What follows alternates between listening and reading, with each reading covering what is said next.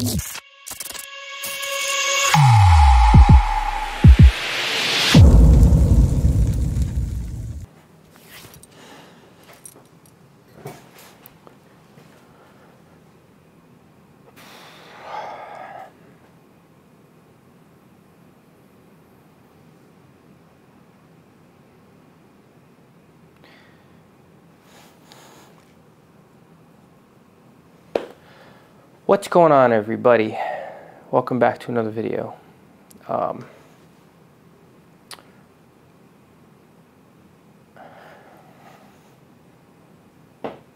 really hard to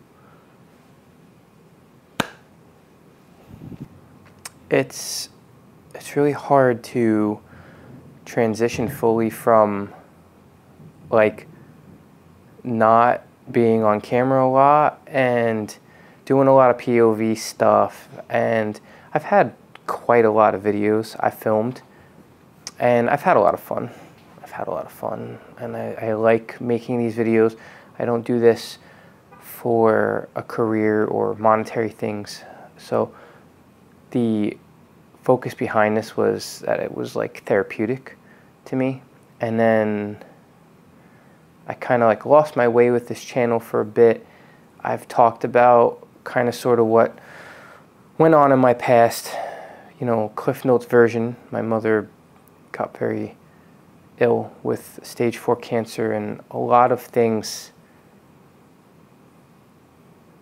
a lot of things happened during that time. I mean, we could talk about that in other videos and, and dig into that, but I wanted to do this video now while I'm feeling this way um, as my introduction to kind of sort of what I want to do with this channel and introduce you, it's an introduction, to that idea. So um, one of the major things that I've always loved was detailing I found it back when I had my Infiniti G35. It was my first dark colored car and it was the first time I noticed swirl marks. and um, ever since that moment, I became obsessed with the organization and the cleaning and the tidying of it. And it was the first thing I ever spent a decent amount of money on, and it was mine. I took care of it, and I was very blessed to have it, very lucky to have it, and I, I enjoyed it. So I took care of my thing, my vehicle, and I think that kick-started the whole detailing obsession. Uh, from that moment on, I was buying products, whether or not I needed it, whether or not I used it. I think it was just the FOMO, the fear of missing out, that I uh, started stockpiling everything. I still do, still do it. Um, needless to say, I lost my way. A lot of things happened, a lot of crazy things, and then other things not so crazy, but things happened. And um, I got away from detailing, and I don't know why. And I, I felt the change happening, and then I felt like I lost myself at some point not long ago. I've been battling something.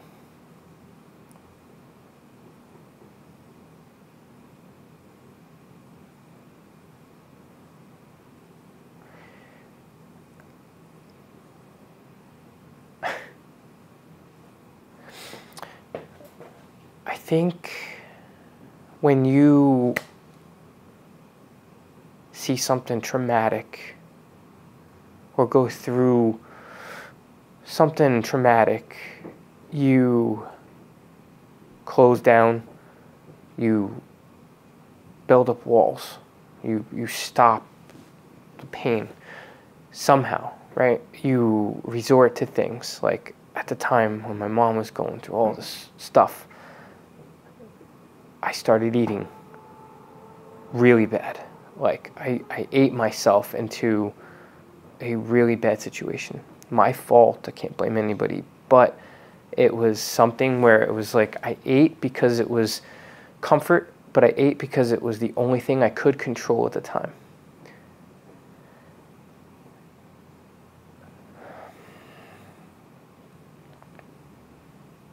I watched my best friend go from the strongest person I've ever seen to somebody that had no control.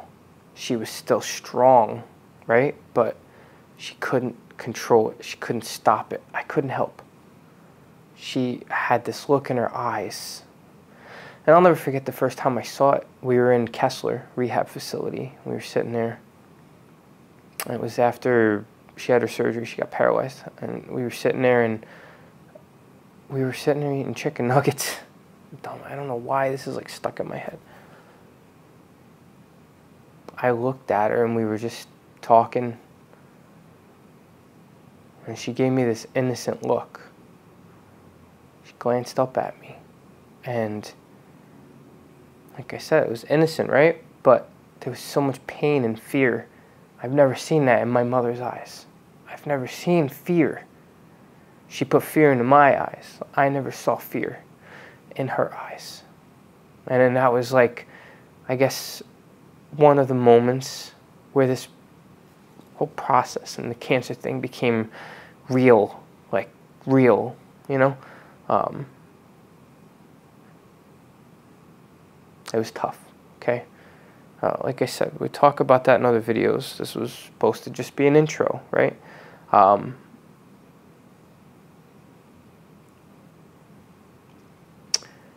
I feel like there's not enough talking. I feel like I made mistakes. I have regrets and I shouldn't. I have things bottled up inside that hurt. And there's days for no reason I shouldn't. I have nothing to worry about, nothing to fear, nothing to be sad about. But I could wake up in the best mood ever, and I'm so happy. And out of nowhere, I get blank. I feel blank. I feel empty. I feel like I don't have a purpose. I feel like I'm heading in no direction. I, I don't know how to explain it. It's just this weird feeling like all the things that I'm excited about still exist. I've got a great job, a great family. I've got some friends, not many, but I still have some that I can truly call friends. I have so much. My kids, you know, we'll talk about this in uh, other videos. There's so many topics that I want to talk about. I really want to talk about. But my kids saved my life. Saved my life. Saved my life, right? I was really in a bad place. And my wife getting pregnant and me finding out I was going to be a daddy and then going through the pregnancy and watching my first child get born and holding her and all of these things that happened, the overwhelming emotions, gave me purpose to live and saved my life. Since that day, I never had a question about whether I wanted to be alive.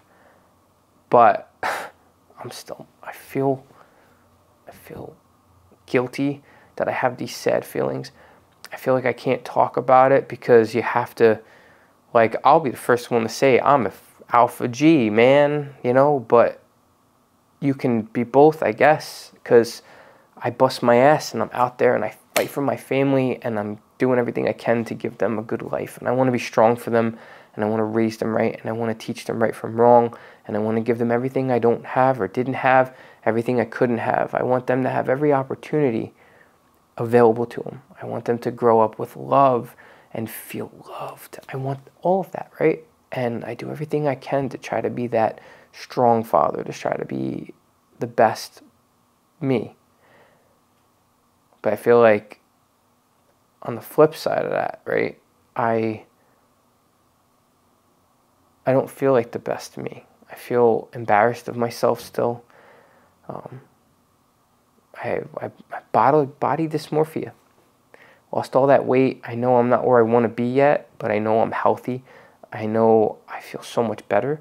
I know I'm not done, but I still judge myself. I still feel like I'm 400 pounds sometimes.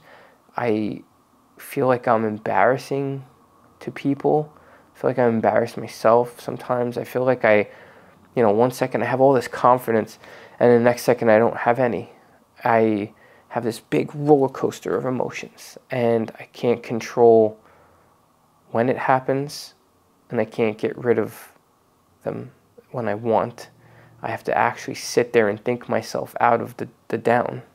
And I don't understand. It's, it's tough. I'm I, like I haven't been diagnosed with anything, but I swear to God, like I'm it's like depression. It's got to be right. Like, is it?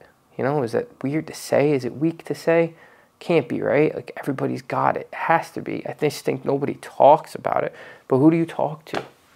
Where do you go as a guy?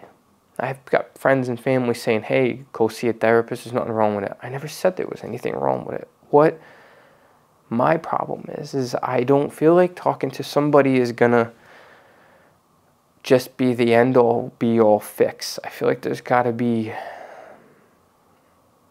healing some other way on top of that. And I feel like one of the things, the most important thing for me is to, to try to help others, right? I feel like that's something I've always loved. I, I am definitely a giver more than a taker. I always like, I'm that guy, like, it's somebody's birthday, I give them a birthday gift. I don't like getting birthday gifts, but I love the joy of somebody opening something that I gave them. I love giving. I love watching people level up. I love helping people. That's a very big passion for me. So I feel like, what can I do? And I feel like talking. I don't shut up, right? You look at my YouTube videos, I never shut up. I post these really long YouTube videos and, you know, I talk way too much. But what are the two things that I like, right? Talking and detailing. It's not like that hasn't been done a million times. Washing talks and clean talks and clean this and you know there's a million cutesy little terms and they all are fun to watch. You know, Matt from Obsessed Garage kind of got us into that realm.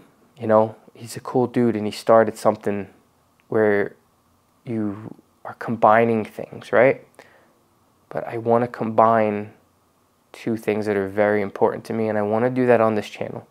So that whole thing that you just witnessed, here we are.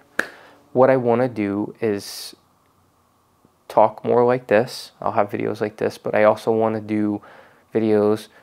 Um, I don't know how often.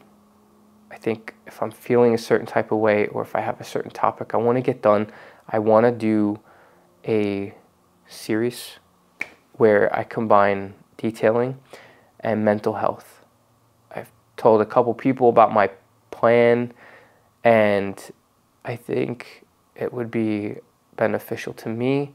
And if I could help even just one person realize that you're not alone, that we're all going through it. You know, life is not easy. We're not supposed to know everything. I think we go through this thinking that you have to be perfect. No one's perfect. I don't care who it is. They could post a million things. They could have the most stuff all the stuff that you think matters doesn't it doesn't um, it's nice to be financially secure it's nice to have an amazing family but this you can't control that unless you learn yourself and talk about it but not just talk about it talk about it with people who will listen and respect what you're saying that's that's the big problem right you have to have that forum, somebody to listen, somebody to lend you a shoulder and an ear. But it's hard to find that. It's hard to find that. And it's very hard for me to trust people. So doing this is a very tough. It's hard to record something like this. You put yourself in this position where it's like, oh, everybody walks around like they're so goddamn tough. I do it too. but I have my moments, and they've been happening a lot more this year, a lot more in the last couple years, and I feel like this is going to help. Okay, so very long video yet again, but I wanted to get this out there. Now, I don't have an exact name picked out. I did, I, you know me, if you know me, I've, uh, I've had lists. I have lists. As part of my OCD is organization and list making. It's weird, right? Note taking and lists. I, I have an obsessive problem with lists. But one of the things I wrote down was just like names of like, you know, like you said, I said wash and talk. But I think I want to do a series called Therapy in the Details. And it could be like a play on words, right? Obviously, detailing is therapeutic, but there's therapy in the details. The specifics of what we're talking about is the therapy, but there's the details. That's the side thing. So, like if we're doing POV videos, the plan is I want to have something maybe I could talk about while I'm cleaning, using certain products, messing around, doing certain things. Maybe I could be cleaning the interior and talk about a certain mental health topic. There's so many to talk about. There's so many different things that we could focus on, right? And then I think we can have an open forum to where we can um, take topic suggestions where it could be like a situation like that where somebody says, hey, can we talk about this?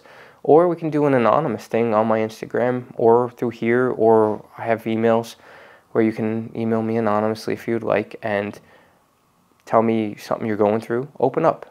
Would you like me to talk about what you're going through and give advice? Or, you know, do you want to message me privately and keep it private and we talk? I just want to create a community here. You know, I want to have the fun stuff too. But I want to have a community where we talk and it's okay to talk and it's okay to open up and it's it's not a place where you're going to get judged. Uh, it's a place of understanding that we're all messed up and that's okay. It's okay. So um, I've recorded more than enough. Uh, I just wanted to record this now because you know I've had a good day today, but I don't feel right right now. I don't know why. I'm going to stop this recording in a minute I'm going to go upstairs and I'm going to snuggle with my daughter and then I'm going to put her to bed and I'm going to watch Peaky Blinders. you know, there's a million things that I'm going to do or can do. And nothing's wrong. But I'm down. I feel down. I won't feel down for the rest of the night, but for right now, this is just this temporary cloud. And I think doing this is going to be good for me, and it's going to be a way to record stuff. Maybe I'll get some insight into myself and um, maybe we'll be able to communicate on a better level with each other, you know, the followers and me. I'm a very honest, open person, and I want you all to truly understand that. It's to a fault. Some people don't like it.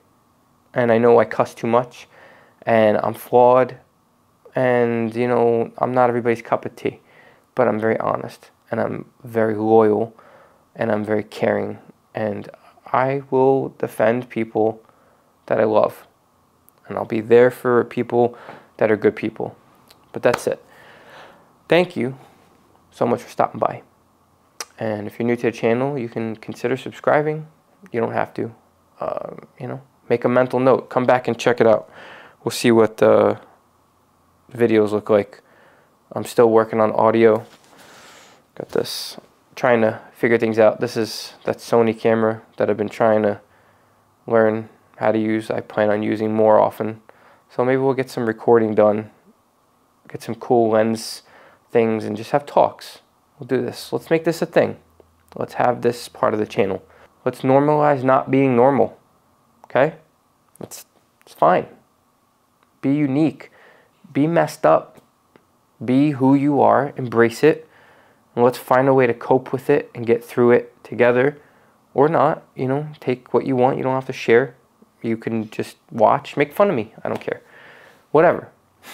Just watch and see what happens. I don't know. Let me know down below if you like the idea. And let's start out. What topics do you want to talk about? What do you want to know? Are there questions that you want to know answers to? What's eating away at your soul? You have uh, something you want to comment, talk to me about? You can message me anonymously uh, on my Instagram, honestly OCD. You can email me. I'll write my uh, I'll write one of my emails below if you want to contact me, and we'll talk. But anyway, this is good. Felt good. It's probably weird. Felt weird, but it felt good. It was a good weird. Weird good. Weirdly good. Goodly weird. I don't know. I hope you're all doing well. And let's try not to let the demons get us. Let's let's be happy. Okay? I love you guys. We'll talk. Let's uh let's start focusing on this mental health thing like the country should be. Let's let's start doing this. All right. Till the next one.